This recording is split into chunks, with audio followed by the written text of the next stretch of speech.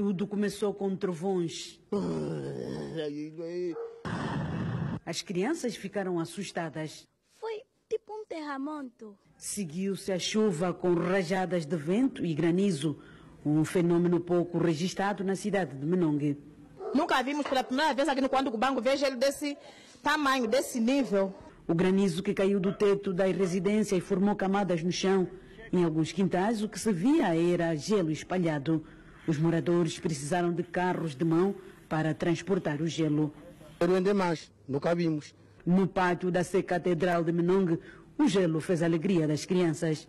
Já passaram mais ou menos uns 30 a 40 minutos desde que a chuva parou e o gelo continua aqui acumulado em grandes montes. O que está acontecendo é milagre de Deus, pai. Eu posso dizer que isso aqui é um fenômeno. Agora hoje, olha, gelo.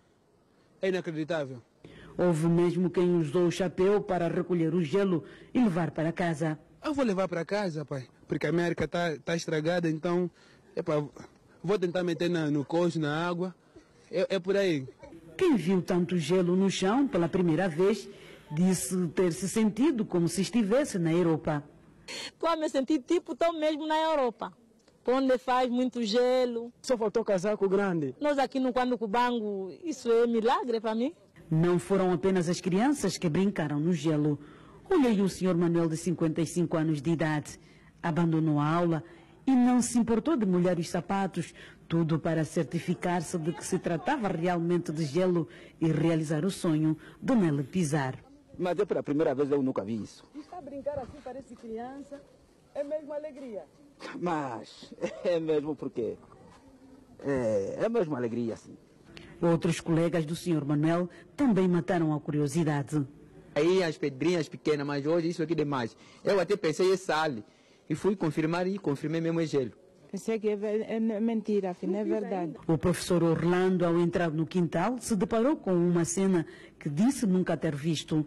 Muito gelo, nunca vi isso. Mas estão a tirar o gelo porque se o gelo derrete, tem medo?